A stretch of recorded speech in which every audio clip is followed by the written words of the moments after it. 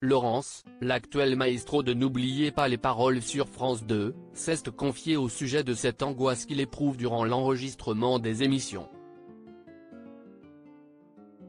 Rien n'est jamais gagné pour Laurence. Voilà plus d'un mois que le candidat belge a fait son arrivée sur le plateau de N'oubliez pas les paroles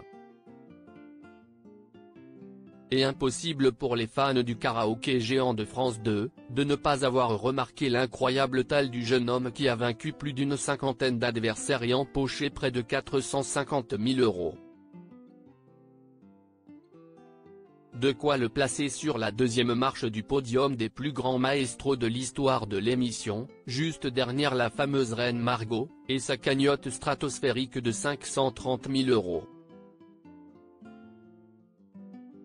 Mais certaines angoisses persistent tout même. Cette inquiétude de Laurence qui pourrait le faire perdre dans N'oubliez pas les paroles en début d'émission, ce lundi 27 novembre 2023, Nagui interrogeait le participant, « Vous avez vraiment besoin d'être collé à la musique pour retrouver les paroles ?» Et Laurence de répondre à l'animateur, « Si est ça.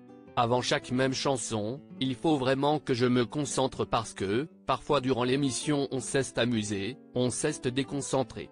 Mais à chaque pause pub, il faut se concentrer tout le temps, car j'ai beaucoup de mal à faire des kevinades.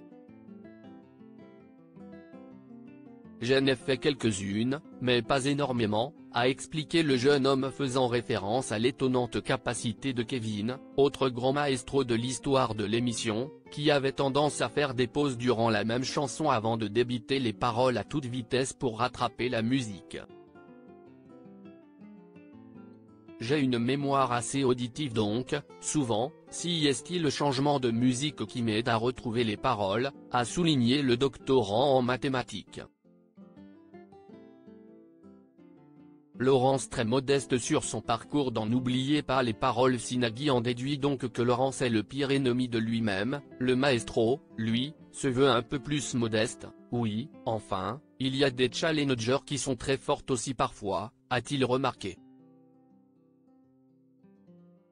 Le candidat de 23 ans, semble avoir encore un peu de mal à se rendre compte de l'incroyable chemin qu'il a déjà parcouru, j'essaie de le prendre émission par émission.